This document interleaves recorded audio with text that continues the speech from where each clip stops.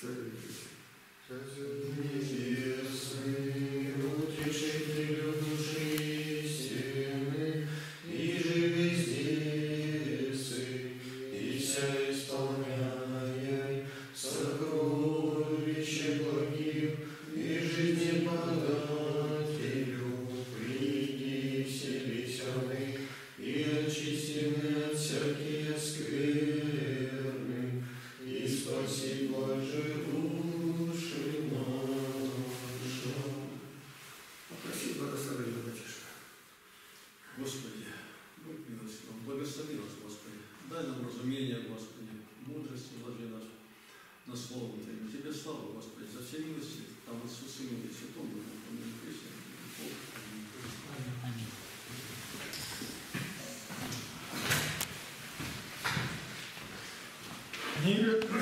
книга Откровения, 16 глава, 12 стих. Шестой ангел вылил чашу свою великую реку Ефрат, и высохла в ней вода, чтобы готов был путь царям от восхода солнечного. Толкование. После поражения престола Антихриста, пятая чаша, наступают последние события мировой истории, непосредственно завершающиеся вторым пришествием Христовым и страшным судом. Мы видим, что река Ефрат играет некую особую роль во всей истории человечества. Здесь, в верховьях этой реки, был насажен некогда райский сад в Эдеме. Здесь начал человек свою жизнь на земле. Это колыбель человечества. Здесь произошло грехопадение человека, и Бог отвергает это место и соделывает местом спасения Палестину, Иерусалим. Вспомним историю Авраама. Здесь, на Ефрате, и начало цивилизации, первые в мире города. Здесь средоточие Бога враждебных сил. Здесь люди начали строить башню до небес и были смешаны и рассеяны по всем землям. Так здесь, на Вавилонских руинах, рождается язычество, говорящее не на первом языке народа Божия, а на разных языках и поклоняющиеся разным иным богам, а не Богу истинному. Здесь Господь связывает четырех нечистых ангелов, приготовив их на час и день, и месяц, и год перед кончиной века. Здесь границы Израиля, страны истинной религии и благочестия, за которой находятся страны народы боговраждебные. Здесь оплот народов, вечно враждовавших с носителями истинной религии. В древности это Ассирия, Халдея и Персия, всегда воевавшие и даже покорявшие Израиль. Здесь и Вавилон, город великого, нечестия. В христианскую эру здесь утверждается оплот мусульманства, религии, отвергшие Бога человека Иисуса Христа и таинство Пресвятой Троицы, религии, призвавшие народы на, крово, на кровопролитные войны с христианами. И в кончину века с этим местом будут связаны особые события. Если язвы предыдущих час, чаш понимались преимущественно буквально, то и здесь можно разуметь буквальный смысл этих слов. Некоторым указанием на это событие могут служить слова ветхозаветных пророков. Исаия. «И прострет Господь руку свою на реку в сильном ветре своем, и разобьет ее на семь ручьев, так что в сандалиях могут переходить ее». Исайя 11.15. Иеремия. «Засуха на воды его Вавилона, и они иссякнут, ибо это земля истуканов». 50.38. Здесь указывается и причина иссушения воды Ефрата, для того, чтобы готов был путь царям от восхода солнечного на великую битву последнего дня. Два главных потока двинутся сюда. От пределов севера ты, Гог, земле Магога, и многие народы с тобою, и цари от восхода солнечного. Народы северные и восточные, и объединившиеся с ними двинут тогда свои полчища в израильскую землю, что будет облегчено им иссушением воды в Ефрате. Так разумел святой Андрей Кисарийский, говоря, что река Ефрата скудеет, чтобы дать проход языческим царям для истребления друг друга, которые двинутся, думаем, из киевских пределов, вместо Бога и Магога. Во время Андрея Кисарийского там жили языческие народы. Если же описываемые апокалиптические события недалеки от нашего времени, то, глядя на картину мира, трудно ошибиться в определении великих держав к северу и востоку от Ефрата, а также тех религиозных и тайных мистических сил, гнездящихся восточнее Ефрата. А впрочем, только сами события скажут свое последнее слово. Смотрим обо всех этих событиях в толковании на 20 главу. И насказательно виденное Иоанна можно разуметь и так. Ифрат – граница Израиля со странами боговраждебными. Но вот Ифрат высохнет, эта граница исчезнет, то есть исчезнет все, что сохраняло христианскую церковь. Новозаветный Израиль их врагов, и тогда все народы обрушат свой гнев на христиан, учинив последнее лютое гонение на святых. Видеть под высыханием Ефрата и последующей войной какие-то события предыдущей истории неправомерно, так как здесь описываются события самого последнего времени, завершающиеся страшным судом. Но это еще не все, к чему привело изливание шестой чаши. Тут вопрос, который сам по себе. Зачем ваш дедушка, Иван вам кто будет, Александр Иванович, он считал, этого-то не было толкования, а Андрея основа с чего взята здесь, было. И он говорил там, кто там был, Миша еще живой, воевать будут посылать. О том, что оружие не брать, он, я не слышал это. Сам на войну всю прошел на передовой. Но посылать будут в Израиль. И там все погибнут, не ходите туда. Хотя бы расстреляли, но, по крайней мере, могила будет дома. А это он говорил. И вопрос стоял, зачем? Там забыли? Ну, понятно, Украина, вплотную тут, тут объяснение какое-то могут люди дать. Ну, это же он где? И войска, и там не будет так вот. Там одна Украина, кто-то свои там тысячи бытовые войска, громадные войска. Вот есть э, фильм «Шесть», «Антихрист» называется. И там китайские полчища, там миллионы. И они как-то, видимо, действуют, а тут Европа против. И прямо в Израиле война идет. Вот меня спрашивают, ну а вы хоть примерно знаете, почему туда пойдут? Сегодня идти-то незачем. Отсюда ракета, она может землю облететь и с точностью до коробка спичечного ударить. Зачем туда идти-то? Ответ есть. Сегодня есть. Есть не утверждающие, а как бы направляющие. То, что сегодня идет, кто руководит миром, вот люди все это берут, международное там и прочее, комитет 300, и все это и будет время, когда люди начнут как-то от этого отбрыкиваться. Вот такие дают мысли. А как вы думаете? Ну, думать вопреки тому, что люди уже узнали, я не политик, не знаю, но я знаю, что пойдут туда. Я вел занятия в университете техническом. Это очень, один из ведущих университетов страны.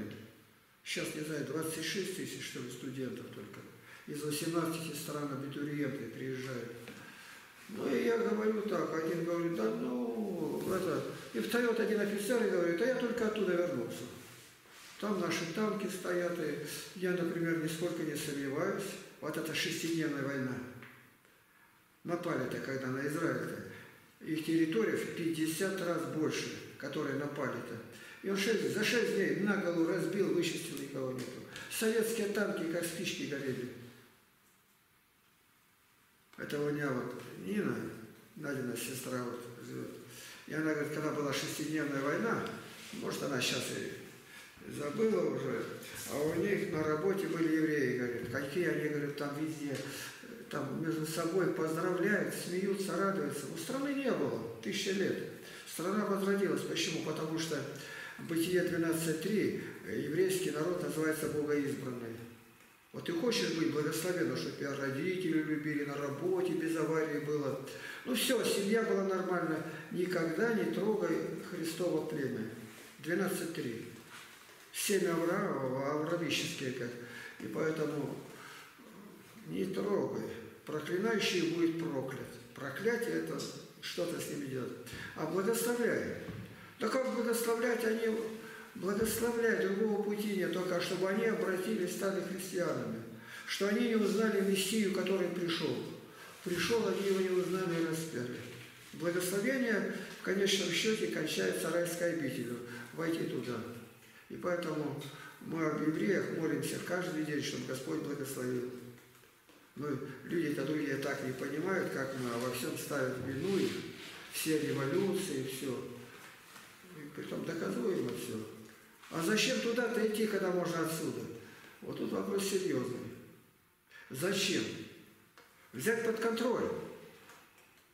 Под контроль это сейчас вот они как где-то бывает, там разбомбили, свои люди становятся, переворот. И вот такое вот. Ну, что я это слышал, вот говорю, Устинов Александр Иванович говорил, он это понимал. Интересно, он говорит, у нас какой-то татарин, говорит, был или кто там, сейчас я не помню, у меня где-то записано не такое даже. И он говорит, говорил, разгадывал сны. Александр ему и говорит, я сон видел, облако, а из облака торчат пика, там булава и какое-то еще орудие такое. Это что такое? Говорит, ну облако закрыло. И вот три. Еврей только маленько подумал и говорит, это война будет. Но ты до этой войны не доживешь, облако скрыло. Но начало ее уже, вот, которое сейчас готовится. А три это означает, через три дня тебя освободят. Меня освободят. Я четыре года отсидел, а мне 25 дали. Четыре дня проходит, его освободили. Это он все рассказывал, и я верю на сто процентов. Это человек был исключительно честный. И вот мы говорят, а что? А вот то, что сегодня где делают, родоначальники там говорят, там только есть лаборатории и прочее. А как мы должны? Только молиться, чтобы этого народа не касались рукой. Так, сестра Елена, вы муж-то где? Уехали. Уехали? А работать думают? Да. Мы договорились уже давно, что не, в воскресенье работать не будут. Я одного останавливаю. Это не надо делать, это суббота Господня. А вот погода. Всевышний знает, какую погоду дать. Мы же не, уже не один раз тут говорили. Помнишь, ты что-то тут подметал, рассыпали. Я подошел и сказал, не делайте этого. Оно пропадет. Пропадет, это не беда. Бог даст в другом месте больше. Позвони или как-то скажи, не надо это делать. Все под удар ставится. Который не ищет свою работу, там написано в субботу не раб, не рабыня, не осел. Осел это техника, на котором возили. -то. Сейчас на света не возим. И ничто не должно работать. Везде не убей, не прелюбодействуй. Одно слово и заповедь. А это вот такой пакет. Перечисляется все. А что выше суббота? Обрезание. Обрезание женщине не прикажешь, когда рожать. И бывает так, восьмой день попадает на субботу, после родов. А обрезание, это значит, надо воду кипятить, там, ну как, хирурги тогда пользовались тоже чем-то. И что делать? Обрезание на месте. Но им это в обвинение не ставится, потому что нарушение субботы могут делать три э, рода, которые это, это сторож. Те, которые ухаживают за животным. В субботу не отвязывайте его, а Аллах, Господь говорит, поить ведете, не ведете. Вот. И врач. Вот три специальности, которые не попадают под субботу. В субботу Господь говорит, в субботу добро или зло делать? А вот остальное, уборка или что-то, оборони Бог, никто этого не делал. У нас же это было когда-то, делали, потом мы это отбили. И прожили. Бог даст, там будет такая жара, будете, говорится, по 5 литров выпивать в день. У Бога все в руках. А я сегодня порадовался, думаю, будет дождик кропить утром, не поедут братья. Просчитался, не пророческий дух во мне, а ревность. Сделай, сестра, доброе, доброе, доброе дело, защити их. Проклят, кто не исполняет. Это защита от проклятия. Бог Всевышний. А почему? Суббота Ветхого Завета, она называется шаббат, покой. Бог сотворил дела все, и вот хорошо, весьма хорошо. Ну все хорошо. Я тебе сейчас начну говорить, как ты устроена, одна голова только где-то, и ты скажешь, никогда даже не думала и не знала об этом. А теперь Господь говорит, творю все новое. В субботу он был в преисподних местах, а в воскресенье воскрес. Новое, новое творение. Он умер, сошел в преисподнее. И воскресенье он вышел. Поэтому суббота указывала на воскресенье в новом творении. Пусть моя э, ревность об этом, или как сказать, коснется вас. Убедите, прямо убедите. Если кто-то не уехал, задержите. Потому что назад возврата может не быть. Да я кто думал, не думал, как-то задумал. Я, если скотина была бы, держал коров, то выгонял бы, доил, это можно. Это скотина. Вала не кормите или... Ну, Господь говорит, будешь на водопой. Или упал. Упал, мол, будешь вытаскивать, тем более человек упал, повредил, сломал. Кто-то против что-то имеет или нет? Вот видите как. Вот смотри, раз, два, три, четыре, пять, шесть, семь, восемь, девять. Три тройки. Три тройки за. Великий Бог нам повелевает это сделать. Вот у нас общество интернетное растет и растет. Новые новые люди приходят здесь, и мусульмане, и занятия идут где-то минимум четыре раза. И каждые два часа звонок идет, и все начинают молиться. Ты не, не знаете, может. Ты же приходил к нам молиться через два часа. И вот сегодня у общества не было правил. И поэтому там женщины стали выступать. И, и вот уже мы вчера перекидывались, мне пришлют, я проверю, выправлю ошибки, опять пришлю, добавить. И сегодня уже сейчас выставляем. Я вам скинул уже. Правила правила по Слову Божию, по святым отцам, все это как есть. Никаких аватаров ников. Потому что с Ником подошел дьявол к Еве в раю, сбил ее. Она же не подумала, что это змей проклятый. Какой он прекрасный, как он лоснится. Ну вот так. А что ответить? Не бойтесь сказать «не знаю». 130-й псалом Библия у кого есть? Володя, 130-й псалом, посчитай. Вот посмотрите, как надо отвечать. Когда скажут, ну как же так ты считаешь и не знаешь какой? До конца-то не знаю. А вот мы сейчас прочитаем. Давид пишет. Царь-царь и пророк, псалмопевец Давид. Царей было много, перечисляется, а пророков много, а псалмопевец один на всю историю. Все уйдет, нас не будет, книги останутся. Считай. Господи, не надмевало сердце мое, и не возносились очи мои, и я не входил в великое и для меня недосягаемое. Недосягаемое от Троицы, Дух Святой от Отца, от Сына или католики правы. Ни разу я никогда в жизни не пошел. Это великое, недосягаемое нельзя увидеть. И что?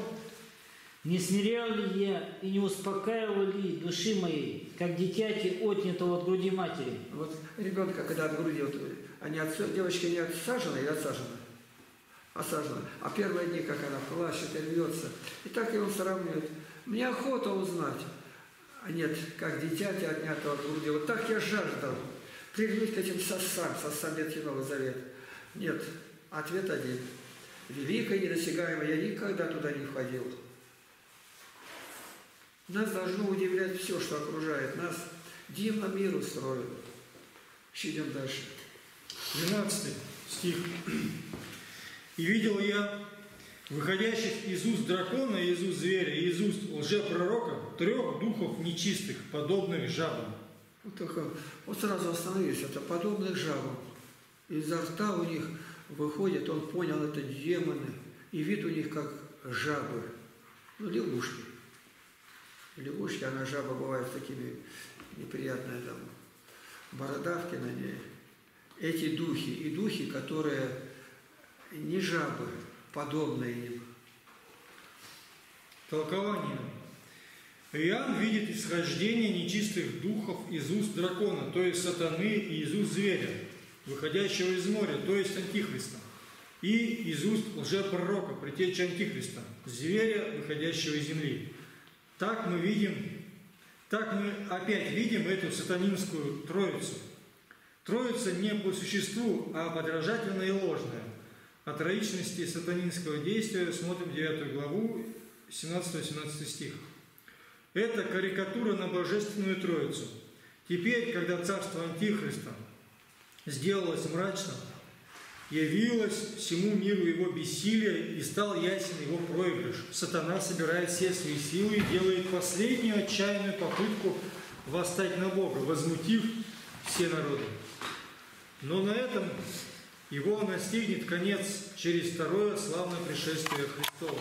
Итак, в действие вступает в этот раз сатана лично и привлекает своих могущественнейших служителей, антихриста и лжепророка.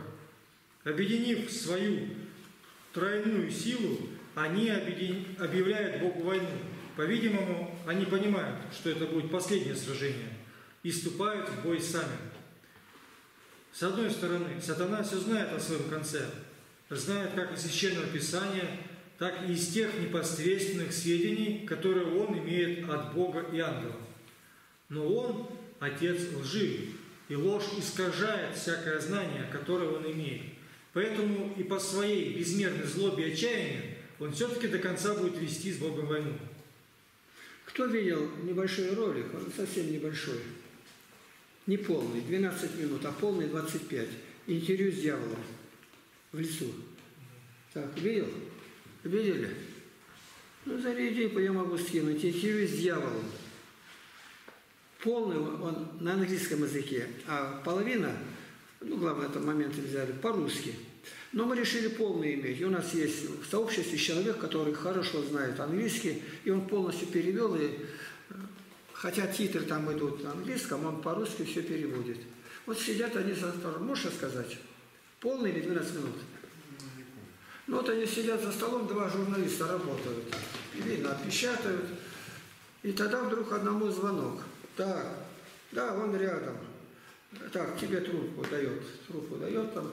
И тот, да, минутку. А почему на меня вышли? Ага, так, подождите, запишу. И так, на каком километре? И куда? И что? Тот спрашивает, кто говорит? Он, подожди. Все рассказал, все, положил трубку. Он начинает там брать там свой телефон, сам берет записную книжку, все складывает. Кто? Я, да я-то сколько времени бился, люди пишут вот тогда-то, так-то, так-то. Я все время говорил, ну хоть бы один взял интервью дьявола. Дьявол звонил. Ты еще городишь. Точно. И тогда что он едет там километры эти, потом через кладбище, покинутый э, город какой-то, там и все это. И, наконец, где последний поворот, он машину там оставил, тут под колючую проволоку там лазил, и, наконец, туда встал, вот так, сосны вокруг. Интересно. Все, я правильно пришел, а никого нет. А когда сказал, никого нет, а сзади голос сразу. А тут не, не сосны так далековато друг от друга. Он только сейчас это знает. Да как нет, я здесь. А вы откуда? Он сразу, я только сейчас смотрел откуда. Ну, вам встречу назначили? Назначили. Ну вот я здесь. Ну а где мы будем сидеть? Как? Я обернусь назад, смотрю, там два дивана шикарных таких. И они садятся один, и теперь между ними идет разговор. И он все записывает. Разрешите, я буду записывать на это. Так, я не согласен. Дьявол не хочет. Дьявол не хочет, чтобы его записывали. Дьявол боится записей. Запомните это.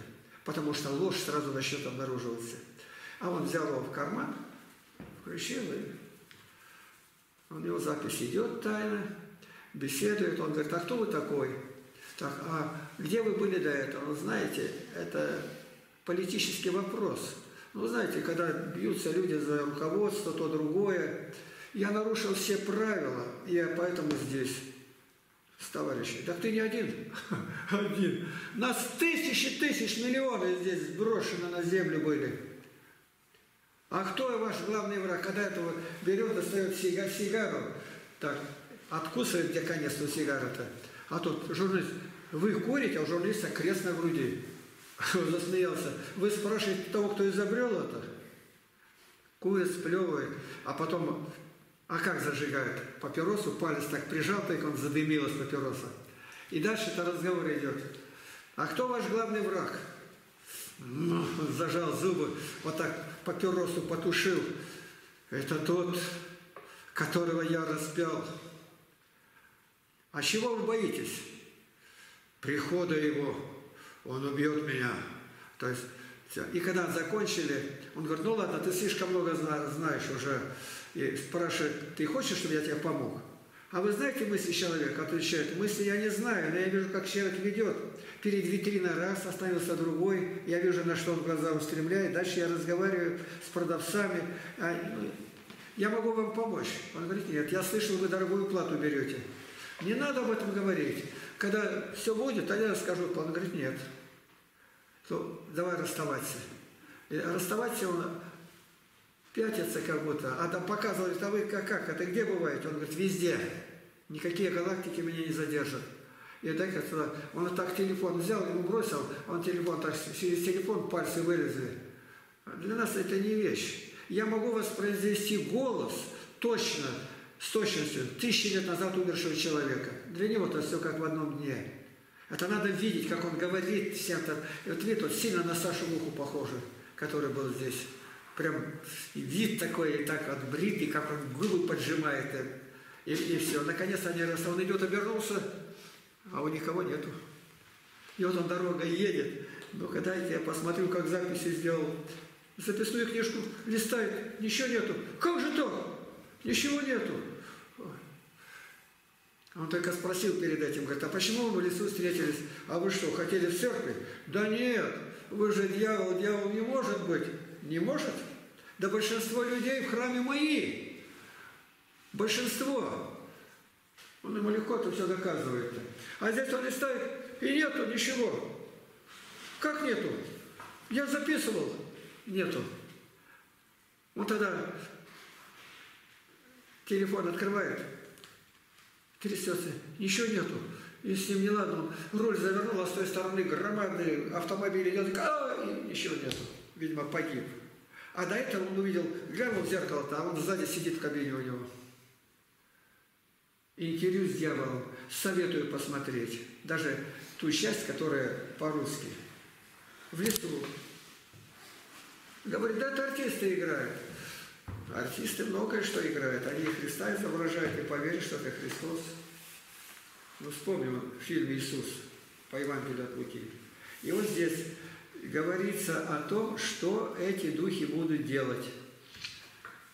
Будут гонения на верующих. Вот сегодня, как мы, храм открытый, помолились, собрались, этого не будет. И это может быть уже мы.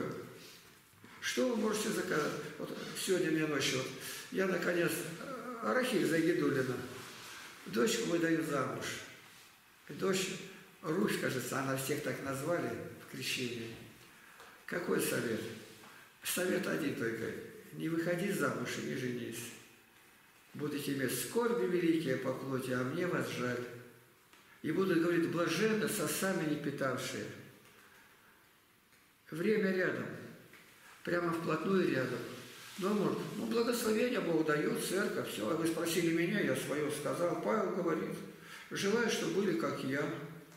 А желающие жениться, замуж выйти, будут иметь скорби по плоти, а мне вас жаль. Мало скорбей будет намного меньше там, где жена не восстает на мужа и ну, знает свое место. Так главное. Пошли. С чего же начинается эта последняя брань? Из уст и сатаны, и антихриста, и лжепророка исходят три нечистых духа. От каждого по одному. Исхождение из уст означает, во-первых, исхождение духа изнутри, из самого внутреннего существа. Во-вторых, самый образ исхождения из уст мыслится как изливание, что соответствует отвратительному виду жаб и существу дракона, зверя и лжепророка. В-третьих, этим указывается, что эти духи исходят в мир по непосредственному указанию сатаны, антихриста и лжепророка. Исшедшие три нечистых духа подобны жабам. Это в сравнении объясняется природными свойствами жаб. В грязи рождающиеся, в грязи живущие, из грязи выходящие, малые сами по себе, бессильные, жалкие, но раздувающиеся и обладающие громкими голосами, они противны и отвратительны при прикосновении к человеческому телу. Таковы будут люди, в которых войдут нечистые духи, подобные жабам. Душа, как и деятельность этих людей, будет грязной и отвратительной. Слабые и жалкие будут их цели и проявления, а они, но будут они гордыми и самопревозносящимися. В грязи рожденные, в грязи умрут, изблеванные сатаной, антихристом, лжепророком, сами превратятся в грязь. Ну так, воображение свое. Представляете, что это будет? Не один соглядатай будет в окно подсматривать, куда я пошел. Не два, а все. Вот когда голод устроили, голодомор, люди говорят, косяки грызли, ничего не, никого нельзя трогать. Вот читаемая книга Тавита. Убивали евреев и бросали, а я, говорит, ночью вставал их, утаскивал и хоронил. И кто-то ночью посмотрел, сказал, сказал, а кто хоронил, смерть ему. И я, говорит, бежал оттуда. Это нам Библия говорит об этом. Книга Тавит. И вот здесь при советской власти также было. Кто отверженные, брошенные, кто-то им помогает, у него все сразу отнимает, и такой же будешь. А что делать? Делать добро. Надо по-разному поступать. Некоторые давно это понимают, их копают под землей, там прячут, у них там гниет, за, испортится по новой. Не знаю, потеряет где-то, еще продержитесь, а мы-то нет.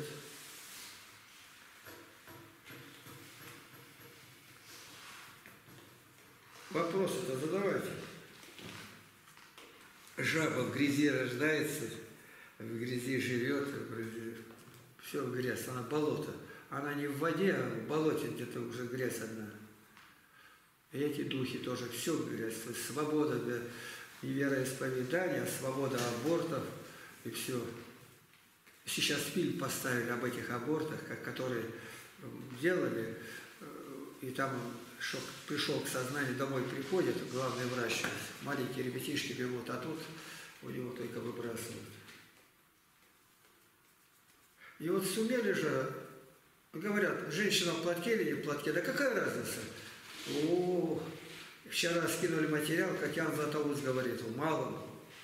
И голова должна быть покрыта не только на молитве, но всегда. Вот мусульмане сумели это сделать. Без платка вообще нету.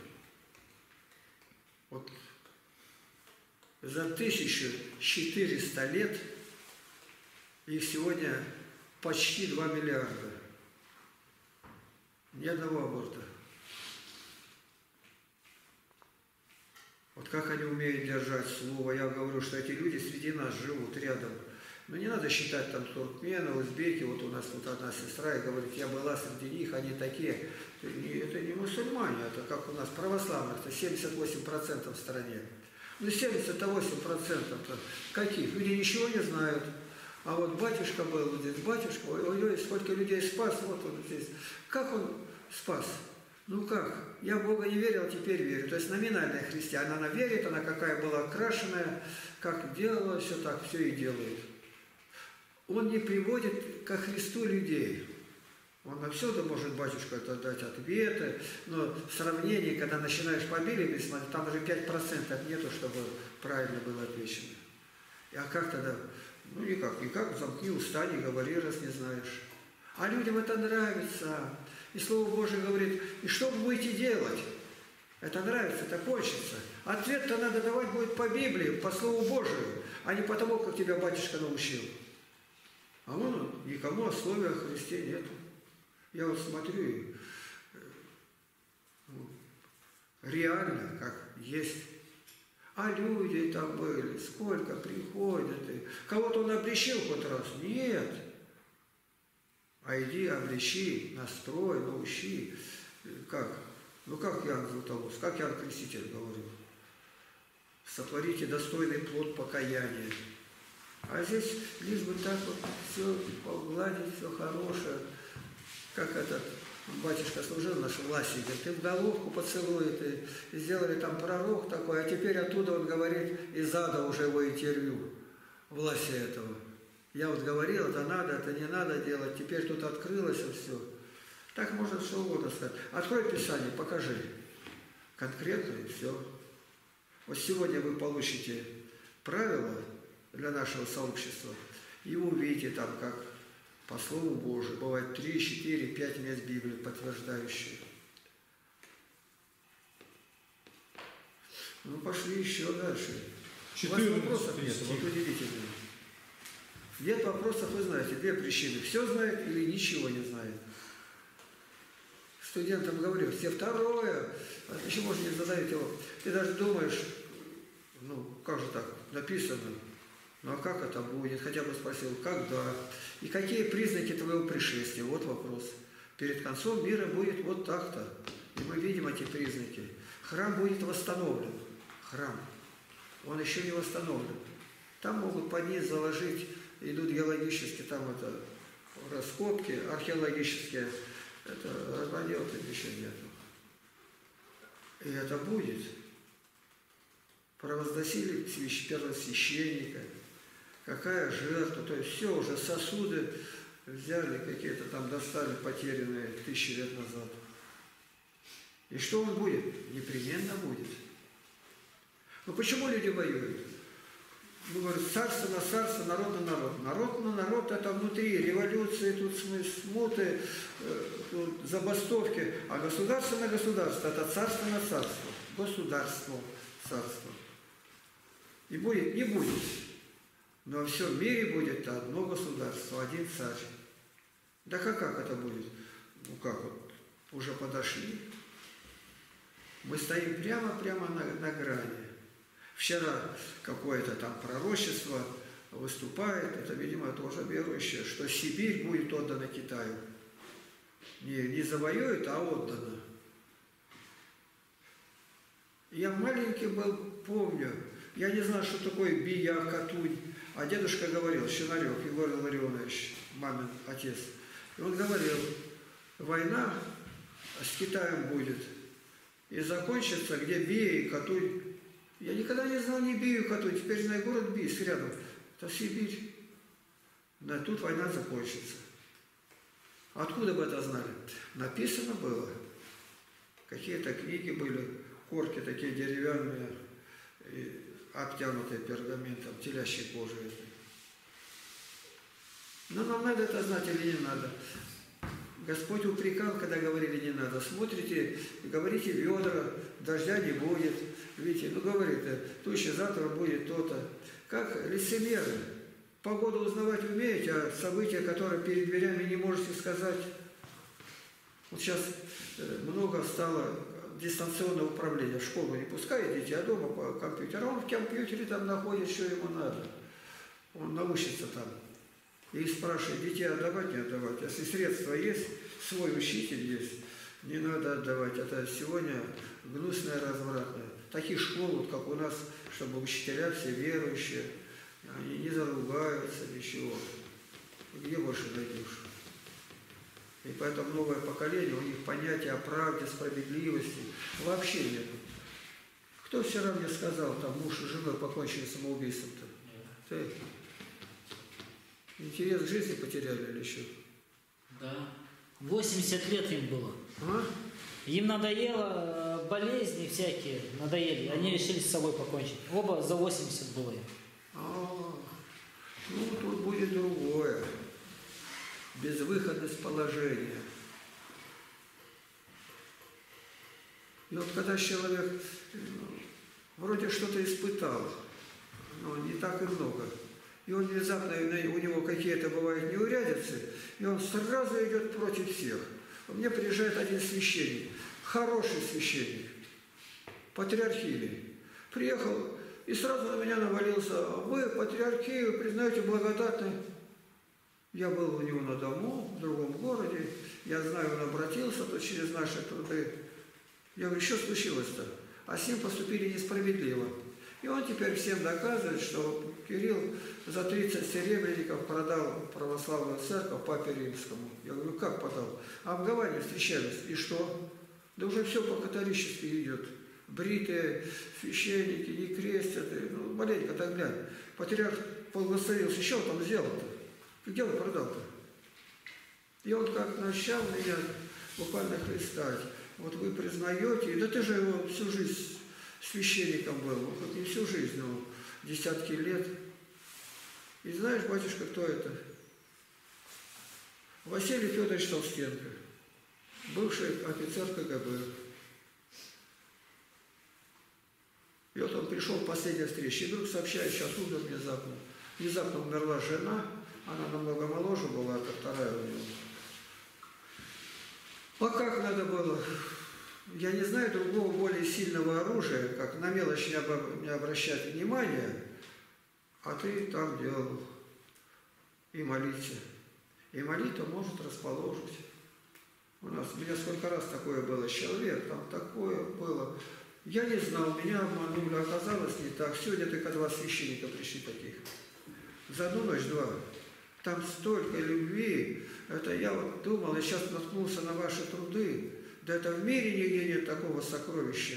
Одного Алексея звать, другой, кажется, Евгений. Показано, какой город, может быть, связь будет установлена. А это сразу, как будто служил патриархии. Он больше нигде не был. Бывший баптист еще. И вдруг не поминать. Ну, не поминать-то. В молитве я дома поминаю его каждый день, патриарха Кирилла. Ну, ты у нас был, ты расслышал.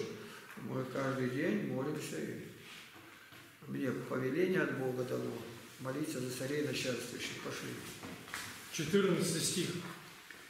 Это бесовские духи, творящие знамения. Они выходят к царям земли всей вселенной, чтобы собрать их на брань в великий день Бога Содержителя. Толкование. Об этих трех духах говорится. Это бесовские духи, творящие знамения. Мы видим, что все царствование Антихриста будет сопровождаться знамениями, целях увлечь и прельстить людей. И это будут не просто иллюзии и обманные действия, которые он совершит, но и знамения, совершаемые непосредственно бесовскими духами, исходящими из преисподней.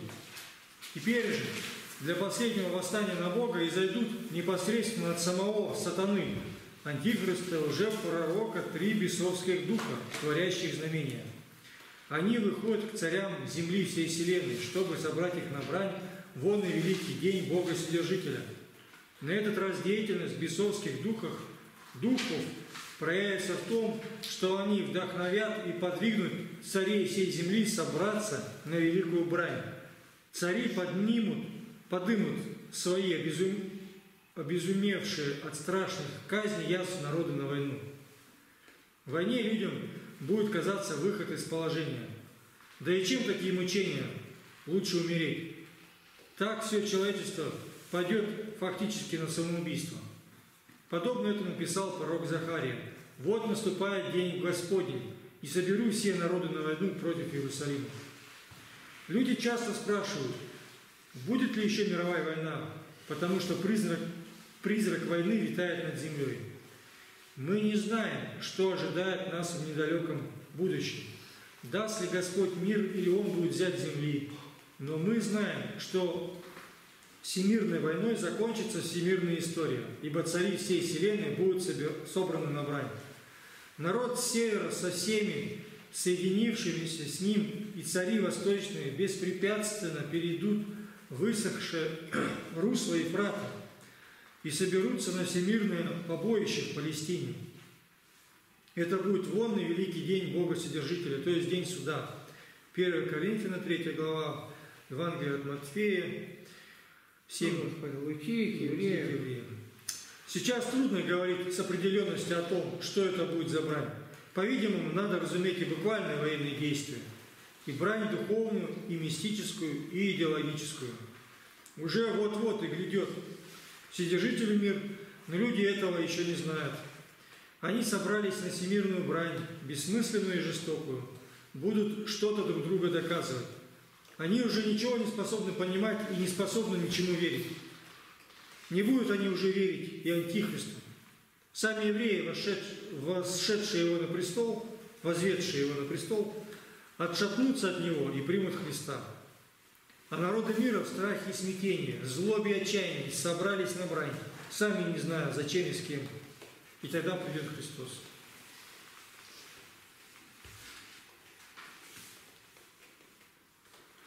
Ну, Кому-то доказывать, поэтому Место не докажешь. Надо знать обстановку сегодняшнюю.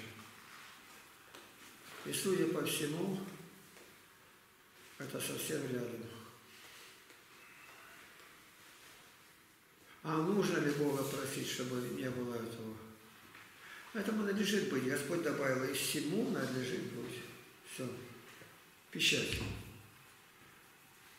И попытками как-то бы избежать этого.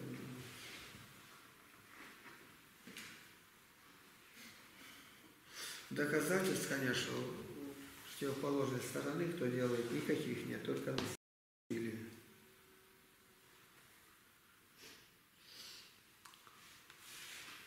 Для себя он, смотри, руку поднимает. Сказано, что э, будет одно царство и один это, царь. А вот здесь какие-то народы севера соберутся. То есть как? То есть все равно не будет единым тут на земле или как? Сказано, что будет одно государство, Да. один правитель. Ну вот мы только что прочитали, что соберутся народы севера, это все-таки никакого единства не Три с половиной года. Три с половиной года у него будет подготовительные, и три с половиной уже полная властная сторона. 42 месяца в другом месте. И при нем сойдут два пророка с неба. Считается Инох и Илья. И будут проповедовать на улицах Иерусалима, видимо, по всему миру, 1260 дней до одного дня. И кто им будет против, говорит, у них изо рта будет огонь, выходите попалять людей. И в конце Антихрист с сразится и обоих убьет. Подарки будут подавать, там разные страны, правители. И три дня с половиной они будут лежать, никто не похоронит. И вдруг они ожили, и никто не успел ничего сделать, они поднялись на облака. Но на облака поднялись, тут, конечно, ни одна ракета не возьмет. Но может что-то надо понимать в духовном плане. Я только сейчас вот отвечал да, в интернете один, я похоже, фамилия Абдуррахманов, там, ну, видно, какой-то другой веры. И вот мне все понравилось, что только я не могу понять, отдал сына, отдал, кому отдал? Отдал, кому отдал? Так, когда не задумаешься, там вроде отдал, да. За что? Змей был мудрее, указывает места Писания. 5, 6 и 6, 5. Ну и что? Ну вот, э, Господь же знал, что это будет, Он же всезнающий. Я сам от себя не отрекается. Так написано. И он говорит, вы говорили где-то в проповеди, что именно так. Меня аж меня зажимает. Вот. Я тогда начинаю объяснять слово антропоморфизм. Это слово французское, что оно означает, когда наделяют, вот, видно, ну, вороне где-то Бог послал кусочек сыру. Наель ворона взорвоздясь, позавтракать, совсем уж собралась. На ту беду лиса безехонько бежала. Лисица видит сыр, лисицу сыр пленил. И она начинает говорить. При красоте твоей допеть ты мастерица, да ты была мастарь птица. Ее расперла, она каркнула ворона-то. Сыр выпал, с ним была плутовка такова. Лиса не может говорить. И ворона не говорит. Вот это антропоморфизм, награждение твари человеческими мыслями. А у нас наоборот, о Боге. Господь говорит, сойдем и посмотрим. Действительно, Бог на людей такой. Богу надо сходить, это высоко не видит. И дальше, я раскаялся, Бог что сотворил Адама. Как раскаялся-то? Да Бог разве может рас... раскаиваться, когда ты отдала дочь, а он не тот раз мошенник-то. Ну ты не знала просто, что он разбойник. К примеру говорю. А то скажете на карту. Так вот, что делать? Бог говорит, считаем мы, наиду просту сапог мой. Что у Бога сапоги? Какой размер? Это образно к нам применимо было. То есть вот я иду, а тут какой-то кузнечик, не кузнечик. Что такое? Я не стал разговаривать, наступил и шагнул, а там еще мокрое место. Для Бога страна, мам, вот это такая. Он наступил и пошел, да. И мы когда считаем где-то про Бога, вот такой-то это надо понимать, чтобы нам было приемлемо. Вот Давид молится там, Псалом один, «Господи, пробудись от сна твоего, что спишь?» Неужели Бог спит? И он с нашими словами, когда к человеку обращается, он, ты то ли уснул, ты почему так? И он с Богом так разговаривает без придыхания. И что? Ну, ничего, Бог его не осудил. Нет, я не сплю, Бог ему отвечает. Я бодрствую над Словом моим день и ночь. И вот надо научиться мыслить э, категориями Библии в этом антропоморфизме, где Господь говорит. Возгребел Бог. Да, Господь не гремит. Ну, а то теперь сегодня знают разряда электронная. Молния бывает оттуда до туда видать. Лединская банка изучала школу химию, что пластина, полтора метра. Э, только полтора метра, там надо такие тысячи киловатт, чтобы пробило. А это километры сотни, и молния, ну, только определяет там 45 атомных бомб одновременно взрывается. Как бы. Такое электричество. И вот никогда те телефоны э, звонят, то никогда не разговаривайте. Двое разговаривают, и обоих убило во время грозы. Звонят, а телефон подальше от себя оттолкни. Если можно, из розетки все электричество. Это, ну вы помните, Рихман был и Ломоносов Михаил Васильевич. И они решили узнать, что там. Запустили змея, я змеев запускал столько. Бывает, вот эту привяжешь, она там вверху твоя а у меня кордовые нитки такие крепкие, и я за Симаковский пруд туда ушел и туда запустил, а змейка летает над Рижским прудом-то. А тут нитка, ее не видать-то. И летят, летят, ласточки сели. Я говорю, ребята, вы видели, конечно, чтобы ласточки крыльями не махали и были, выскочили, сидят. А как они сидят? Не знаю, давайте еще. Летит сорока, и сорока села, вот, а там место такое, значит, она крыльями-то не машет, она на нитке, но нитку-то не видать. И они вот запустили во время грозы. И где-то там проволоку или гвоздь привязали хвост у него, у змея этого, который делает-то. Но имеет нитку-то намочила. И они там какие-то приборы делали, и в этом как дало, трахнуло, и оттуда вылетела стрела, и Рихмана сразу в голову, ботинок там разорвала и вышла. Он сразу умер мгновенно, а Ломоносов остался живой. Ничего не делай, ни за что не берись. Такое, когда гроза идет. Вот у нас здесь, вот как ехать, ударило, пять столбов поразило одним ударом. Первый сжег, они только изоляторы висели, а другой там еще маленько столба было, другой, и последний просто прожженный. Пять столбов порешило. Какой сильный наш Бог. И когда гром, только удивляйся, Господи, как ты страшно велик. А у нас говорили, это Илья кадушку везет с водой. Илья пророк поливает. И мы серьезно так и верили. Вот у нас сегодня урок по этому идет. Еще 7 минут. Вопросы. Вы заходите в нашем сотрудничестве идет, как сейчас будет ровно 2 часа, 4 часа, и попросите, чтобы вас приняли. Будет звонок, а в звонок, значит, там 11-12 минут идет моление у нас, молитва, а потом вопросы. Если занятие идет час, полчаса мои, полчаса отвечаю на вопросы. Глаза поднимаю.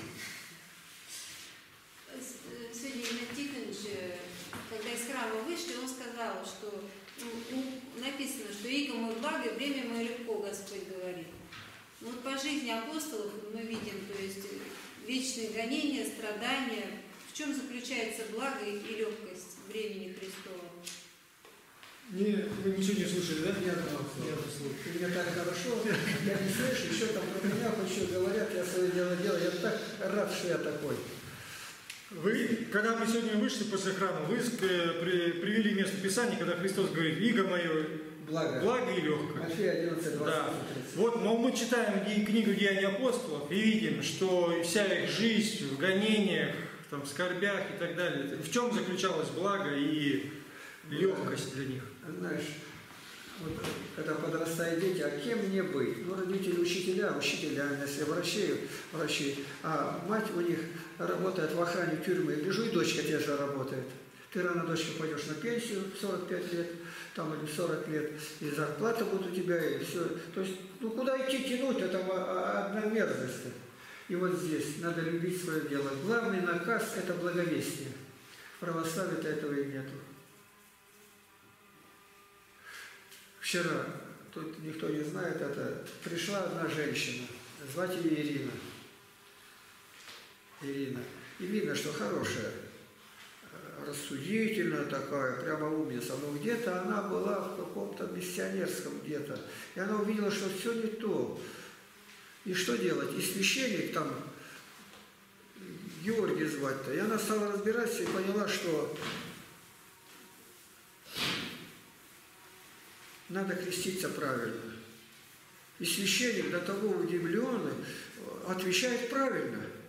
А тут пишет ей, Ирина, у тебя такие сейчас трудные отношения, она ушла оттуда, ей угрожают, что она там ушла из этого отдела-то. И он пишет ей, а мне скинули материал, ей дали такой, какой ответ дать-то? Ей надо дать что-то. Священник ей говорит, Ира, ты спрячься пока на месяц, чтобы тебя нигде-нигде не было.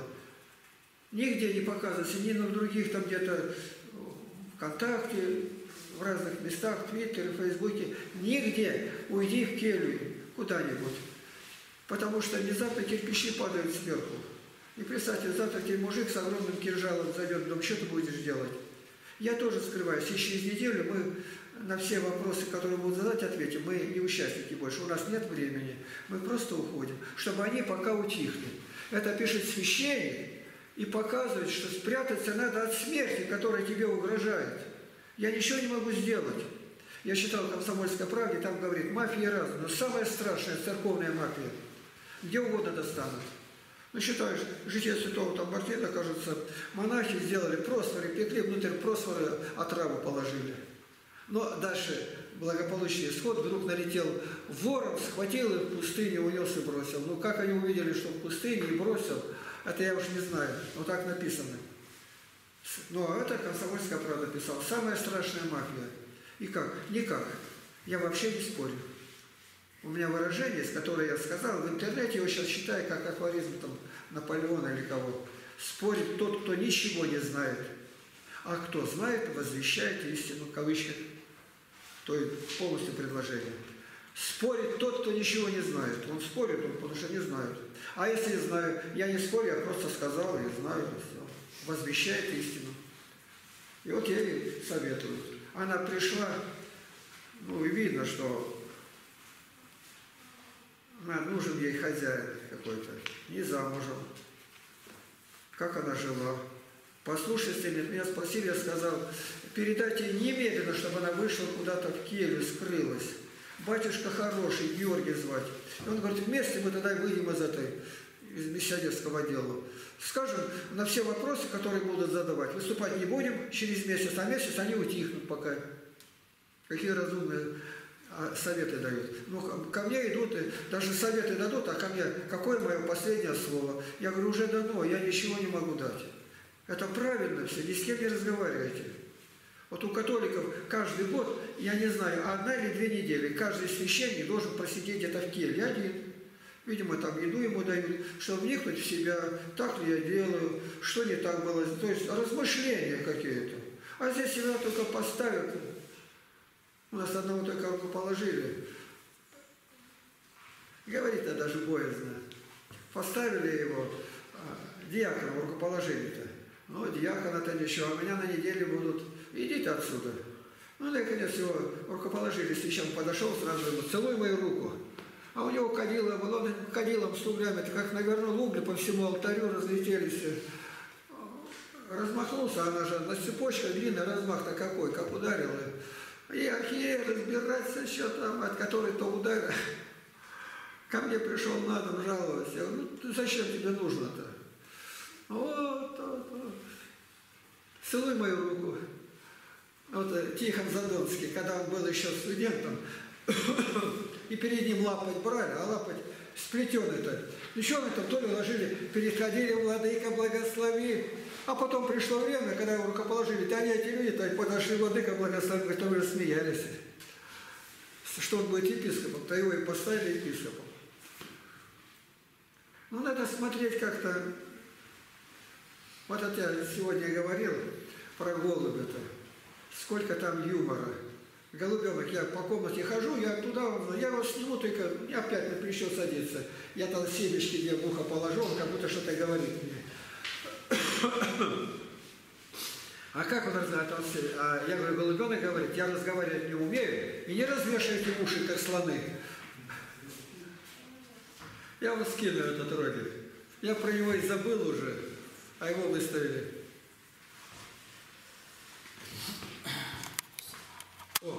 О, 13